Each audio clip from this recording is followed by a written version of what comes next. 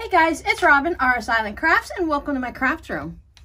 I'm going to play a little today, so I thought I'd just pop the camera on in case anyone's interested to see what's going on. I recently got this in the mail, something I ordered from Michaels. I found that sometimes with Michaels, I can get things online for delivery only that I can't get in store or I can get it cheaper if I have it shipped. So this is a set of 24 of their Craft Smart acrylic paint set, uh, acrylic paint value set. It was a pretty good value because not only was it inexpensive, but it was also on sale or clearance or something. I used my 20% off coupon, something along those lines. But I want to play with paints today. I have a long, believe me, I have a long list of things I have to do and I should do and I need to do. But today, in the spirit of Christmas and fun and crafting, I'm going to do what I want to do. what I want to do is when I cut out all the different cards to make the envelopes and the cards and whatnot for my scrappy fabric cards, there's these little pieces left over. So I've been cutting them up and I keep them in this little envelope called thank you notes. And what I want to do is I want to water down the paints a little bit and paint them on there. I had cards somewhere here they are. Here they are. I was playing before I got these paints in, and I was playing with some stamps that I came in. You probably saw these if you follow me on Instagram. But I wanted to make these little thank you notes that I can put in the um, in with any of the orders, or if I get a thank you, if I send a thank you out for when you guys send me some scrap fabrics or selvages, just cause I can leave some of them blank without thank you, so I can write a little note on them. But I like the look of this, and it's fine with the stamps and stuff like that, but you can see that they're stamps. And I want this look, but I want it to be blended. So let's see if I can get that by adding a little bit of water to these paints. I mean, there's just so many fun colors. They have from white all the way to black with several different shades of everything in between. There's even a holiday green. Uh, that Hopefully that'll look like Christmas trees. So I'm to try this out first as straight paint and just see what it looks like because why not? And then I'm going to go ahead and add a little bit of water and see what happens. I have an old towel. I use this towel for when I make, what do I make? When I make handmade paper which I haven't done in a long time, so I'm really wanting to get into it. But here is my thank you note. I got the uh, thank you stamp. It's from Mountainside Crafts on Etsy. I'm really into the Michaels brand, Craft Smart, so this is a dye ink pad. I also, I have been collecting little things, so I have some other dyes here that I can use, but I really like, so I was thinking with the thank you, I really like the thought of having the dark black against the colorful. And as you may notice, I have a flamingo stamp, but I don't know if I'm going to put that on here or not. So I'm just going to make a couple to start with, just to see how they look with the paint. So let me see if I can find, this one must be, does it say on here? Holiday Green. I mean, that's a really bright label, but the green inside doesn't look that bright. Oh, they all have safety plastic thing on. Oh my goodness. I mean, I totally get it and I'm glad for it, but at least I'll know which ones I've tried or not because those are the ones that won't have the little plastic on it. I picked these up at the Dollar Tree. They come to a couple of them in a pack, three or four in a pack. I don't know. It's just a nice little palette.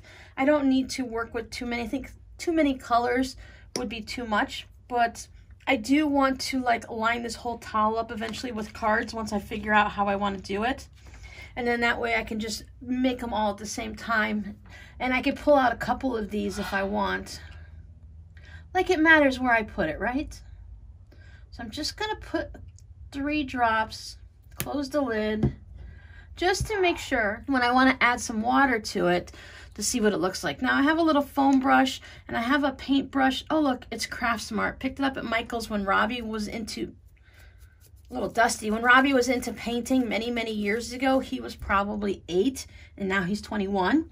So it's definitely a while ago. I've got a cup of water that you probably can't see back there. And let me add with that green, let's do bright pink. Because bright pink goes with flamingos. And I think, well, I'll probably definitely learn more about colors doing this and which ones blend to make which kind of colors. But I thought this was really great because I, this one's got paint on it. I don't, um, nothing's leaking. I don't really know how much these are at Michael's, but I know I didn't pay $24 for them, so they were less. I want to say I paid $14.99 before I got my 20% discount. And these are probably maybe 69 cents each. I don't know. I, didn't bother looking that up.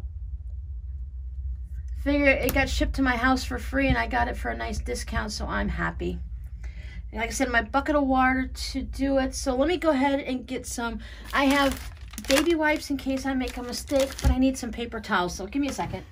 Paper towels is one of the things that my Walmart and other grocery stores, Publix, they're out of a lot around here now. I noticed earlier in the pandemic that that happened. So during the summer when we were actually allowed to purchase them because they were in the store, every time I went to the store, I bought one or two rolls just to make sure, like, here we are again. You can't buy toilet paper very easily. Napkins. I have a hard time buying napkins and paper towels. So I have some extra rolls, so it's a good thing so I can play with them. Otherwise, I would just go ahead and use a washcloth because I don't use, I have a bath poof, so we don't use washcloths, and I have, I have the old ones that you clean with, which would be fine to do crafts with. All right, so let's see what this stuff looks like.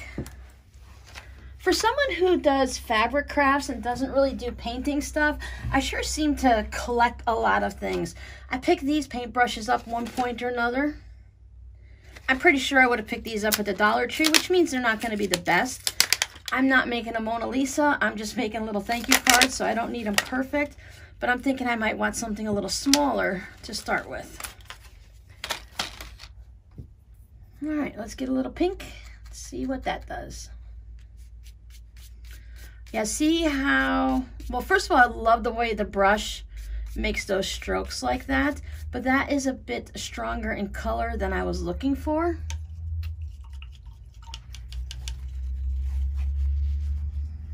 Make sure I don't spill my water though, because I'm still on my craft table with everything important around me. I wanted a very light watercolored pastel. Now, eventually I may end up, if this doesn't work, I will have plenty of paint to play with but I want to, if I have to, I'll pick up some actual watercolors. I bought the kind like I bought Robbie for school and stuff. Look, just adding a little bit of water to that already kind of helped. So let me go ahead and dip. I have an old cup from Tijuana Flats from when my daughter worked there. Add a little bit of water to it. I have plenty of cards that I can play with. I don't mind course, my water is already turning muddy, but I don't mind if it's a little bit blended. I really just want a nice light color. So I'm going to practice on this one since it's already here.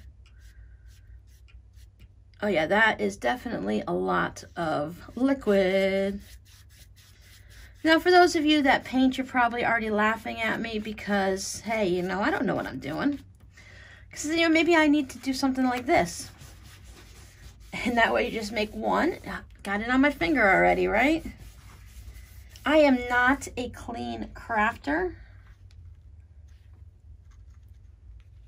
So I'm looking for something like this, a little bit darker, that kind of will, it'll show the color and not have the white coming through. Maybe I need a little more paint. At two or three drops at a time, I've got plenty to play with.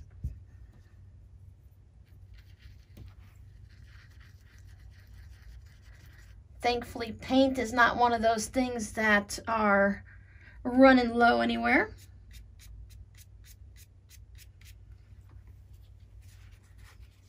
Maybe I need to be like you do when you do, um, maybe I, I try when you do the, come on, I've got words, when you're staining wood and you put it on and then wipe it off.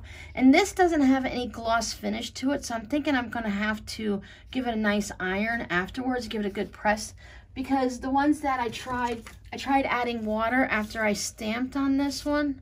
And it, it's okay, but since I didn't press it, you could see it's got all of the little bumpity bumpities and stuff. It's not smooth.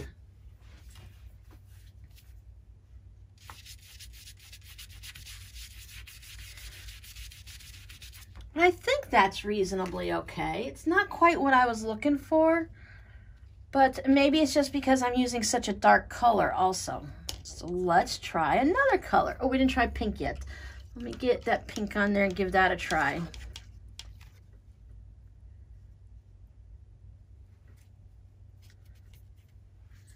Just having the water on the brush just seems to be almost enough. Dab it off.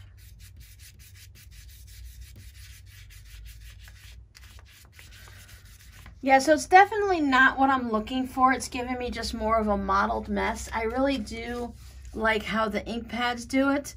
I wonder, can you take an ink pad?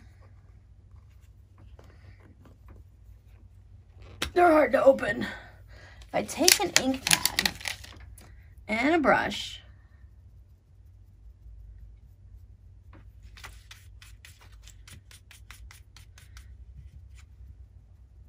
wouldn't want to add, oh, now I'm just getting all hairs from the brush on. Okay, so that doesn't work, but I'm kind of looking for something like that. It's just something I want to play with and keep trying until I get what I want.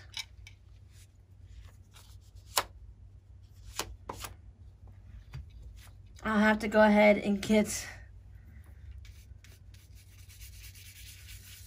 la-di-da-di-da.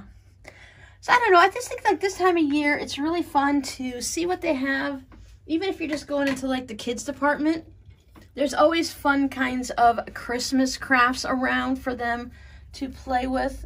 Well, let's compare green with green, right? So this is lime green and this is apple tart. They both look like a light color. Well, we'll skip looking green like green. Let's get some blue out.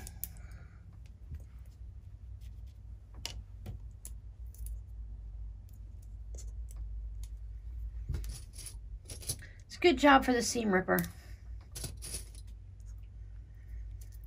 For those of you who do this, I'm sure you're going to have plenty of ideas for me down in the comments. And, you know, some of you may even say, like, wear vinyl gloves or something. But why wear gloves? Then my fingers won't look like I touched a rainbow. All right, get a little blue. Oh, I really love this blue. Can you guys see that blue? That's very pretty. I don't want to mix the colors up, but then again, I'm going to put them in a container, so it's okay. But for right now, I'm like, don't mix the colors up.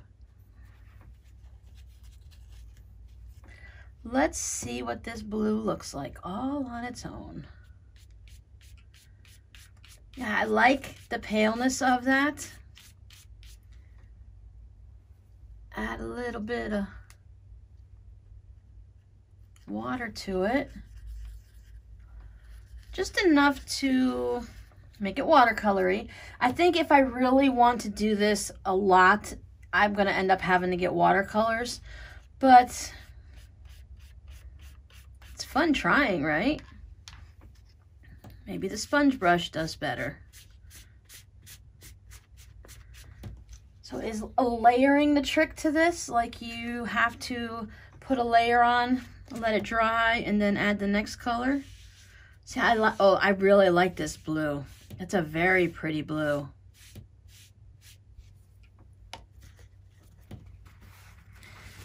Looks like I need to increase my foam stamp collection. Uh, my foam brushes, I mean.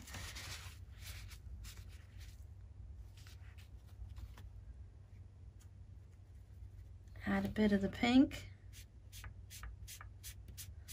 Yeah, see, that's the look I'm going for. So maybe it was just the fact that I was using the wrong brushes.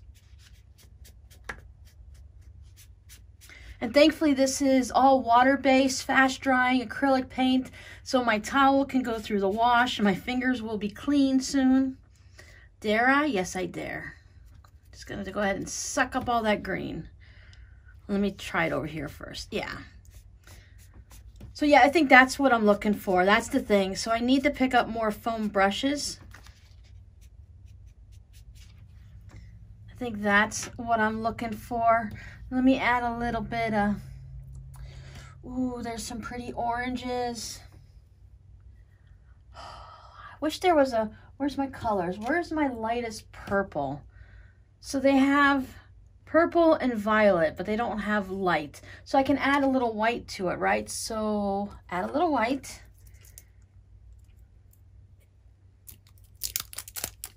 Then after this dries, I'll have to give it a quick iron and see what it looks like there.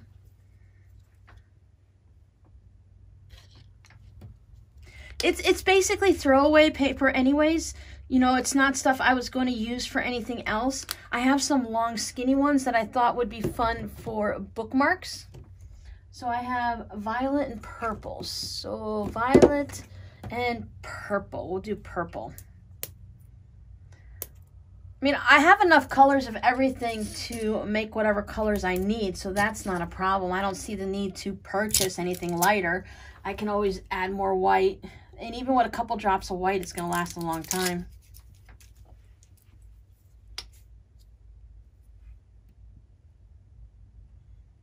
Let's do, oh, one big drop because that's what's coming out.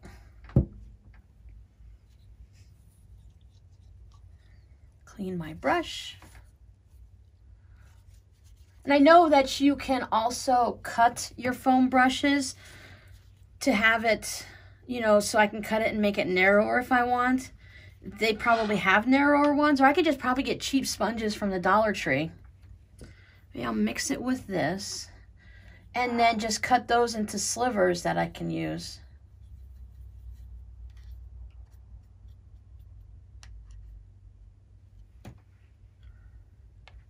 Keep my Dollar Tree in there, nice all and happy. And let's see. Oh yeah, need that a little darker.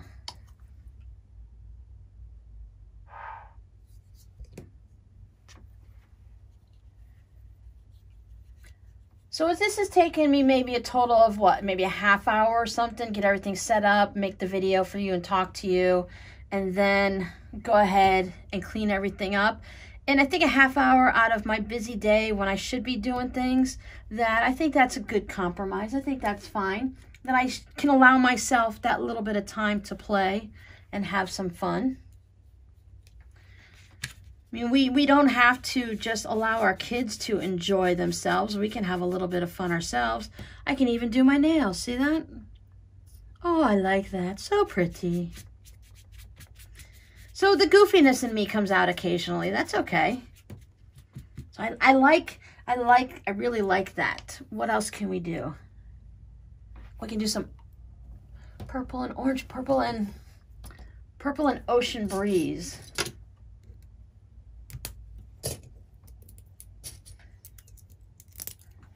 And me, just like a child, I do make sure whatever I buy is washable. I did get the permanent ink because, I don't know, I bought that for something else. Oh, I bought alphabet stamps. So I bought that for the alphabet stamps and I wanted to, I don't know, I just thought it was what you had to buy, you know.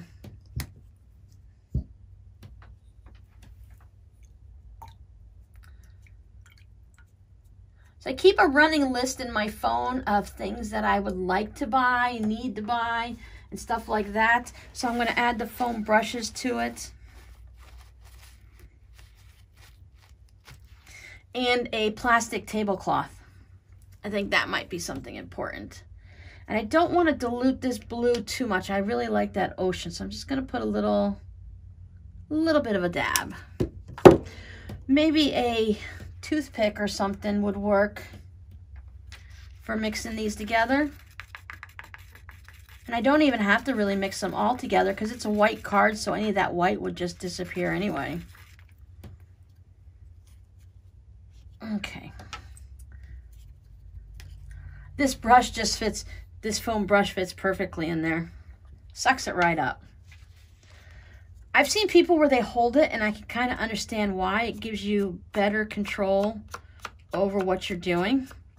And I, I received a thank you one. I thought of, I was thinking about doing this prior, but then when I saw a thank you note that came in one of my Etsy orders, I'm like, yes, that's what I was looking for. She only did around the edges with a brown color.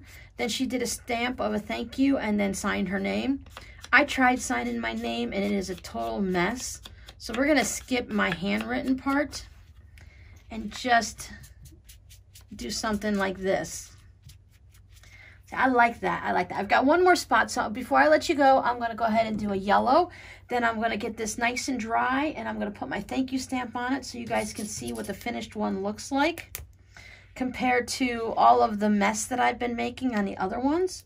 And we'll know how well it works when I give it a nice heat from a dry iron. And I'll put a piece of paper towel on top of it or I'll press it from the back, whatever, just to make sure that, you know, I don't have a ironing board that has all the pretty colors. I'll put I don't even know that we need to water this one down at all. I mean, I will, I mean, white it down at all because that's already a nice light color.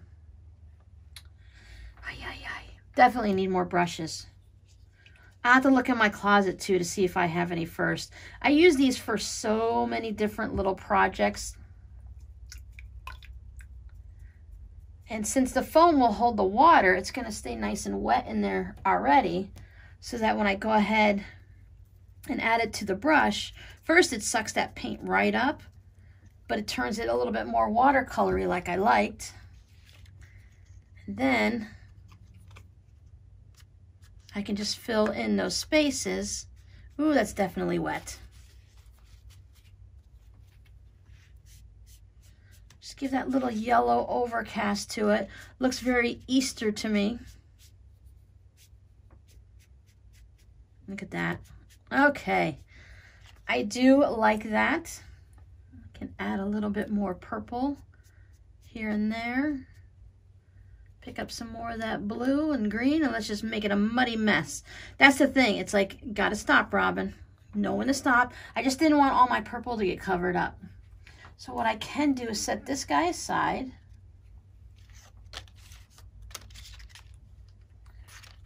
And then so I have this left in my palette, right? So let's start light to dark.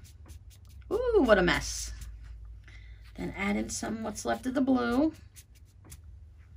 Pick up a little pink. Got a lot of purple in there. Oh yeah, so that's what you do when you want an absolute muddy mess. But look, I tried something new, right? And now I know what I like and what I don't like. It still looks very Eastery because of the colors.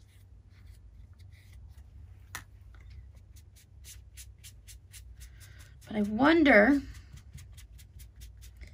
if that would make a nice background for something else. Like, I think this would be nice if you take a fine ink pen and draw a tree. We can go, go totally crazy, clean the brush. Before we put everything away, let's just open up one more color. We don't have any orange. We don't have any of a lot of them. We got 24 colors to try out, but let's try a little orange and let's dare to be crazy, right? We already made a mess and we're already like, mm, I don't know if we like it. Can we do anything with it? It's awful muddy. So let me put a dot of orange. And what can I do? What can I do to make this even uglier? Or what can I do to turn it into something that I like?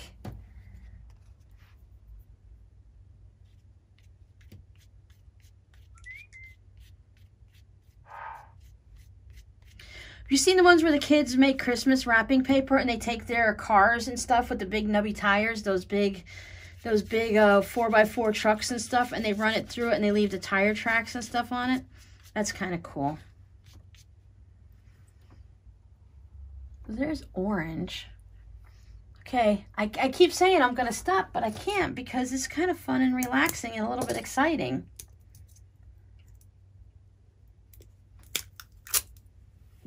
And I think putting the glob in the center might not have been the best idea.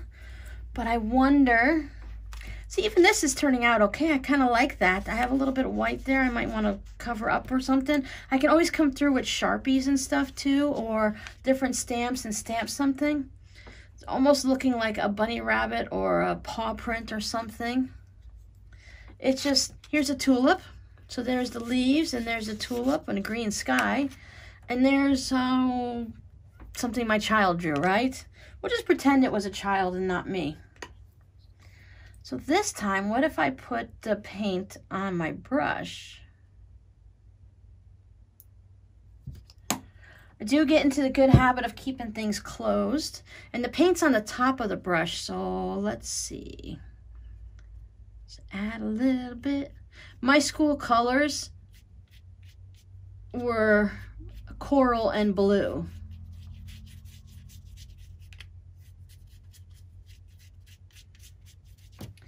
All right, voila, it's a masterpiece. You know, I laugh and say it's a masterpiece, but there are some people that do some strange things when they're painting and they call it a masterpiece and because they have been doing this for so long that they do get the big bucks for it, right? Well, let me put everything away where I didn't find it. Oh, here's my paint set again.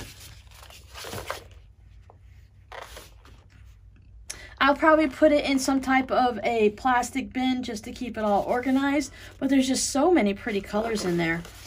I really do like this Ocean Breeze. I would love to have like a t-shirt in that color, or it's kind of like an aqua, so you can have that with the red and a white, and that would make a real pretty quilt. I have a couple of swap I, I joined a couple swaps where my colors were aqua red and white so I have a few quilt blocks that I turned into a quilt for them and it's really pretty together. I do really love those colors together.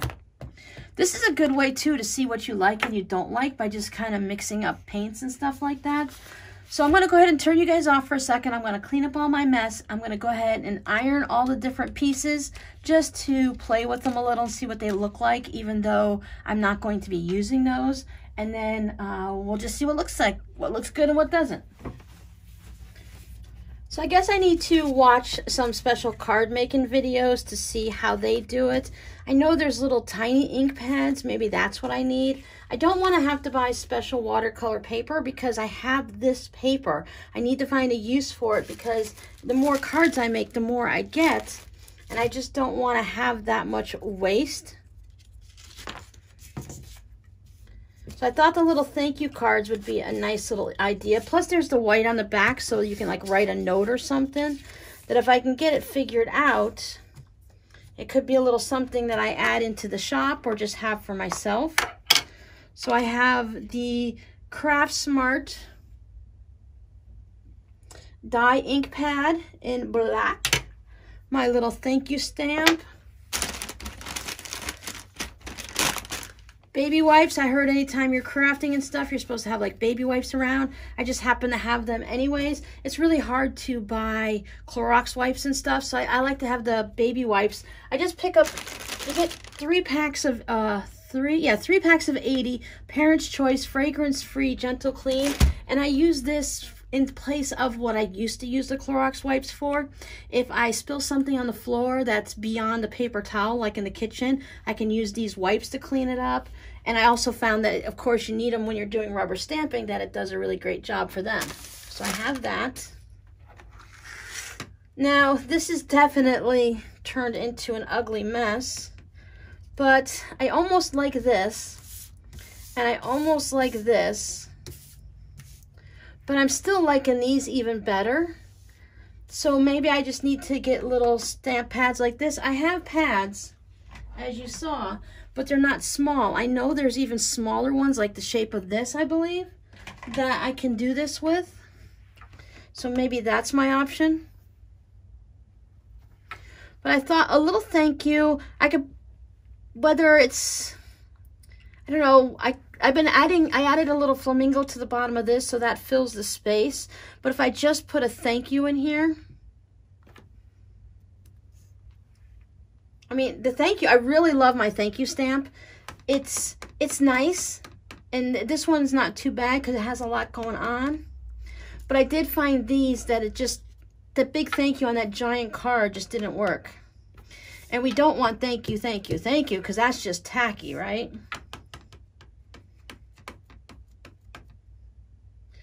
Ooh, doggy, that's got a lot on it.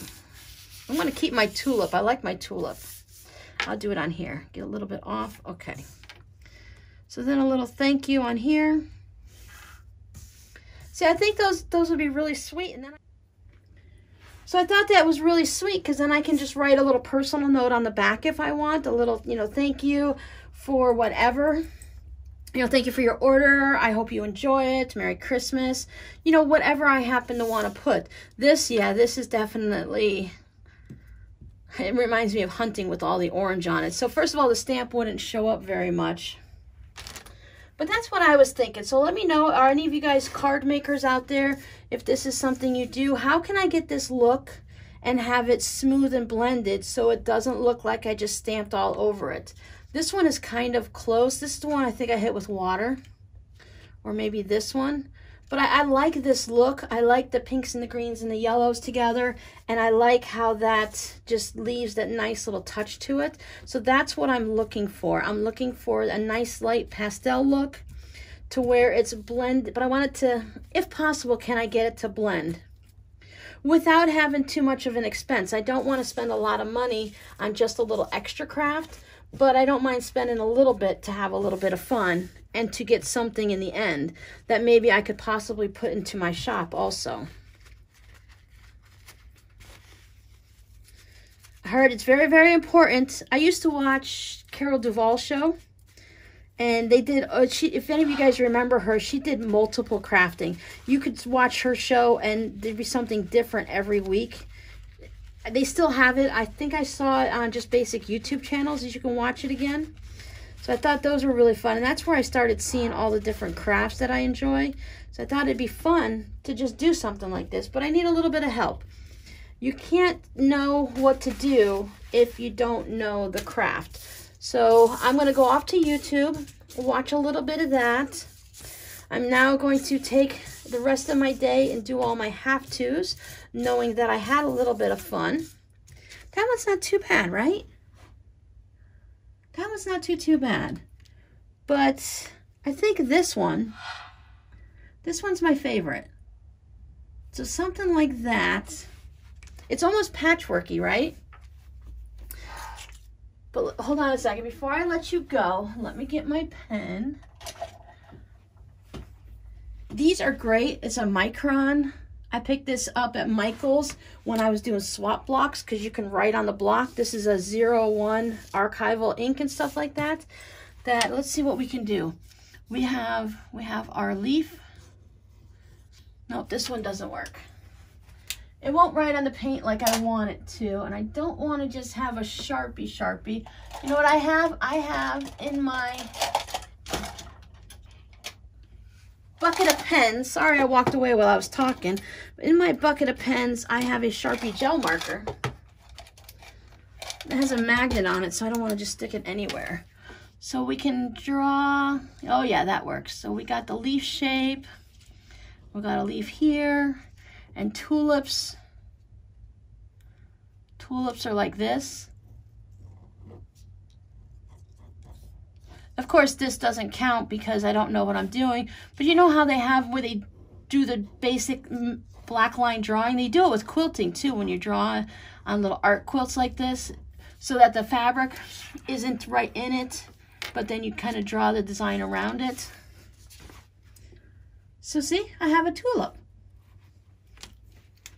I can get in trouble here. I can have a whole other craft that I don't I shouldn't get into, but I find myself enjoying my fabric crafts, but I also find myself branching out a little bit and wanting to do other things. Like I can incorporate this into an art quilt, a little wall hanging, so I can add some type of fabric paint or the inks onto it, draw on it with my sewing machine with black thread, and have that same feeling, but have it be in a fabric sense versus just the painting and the stamping.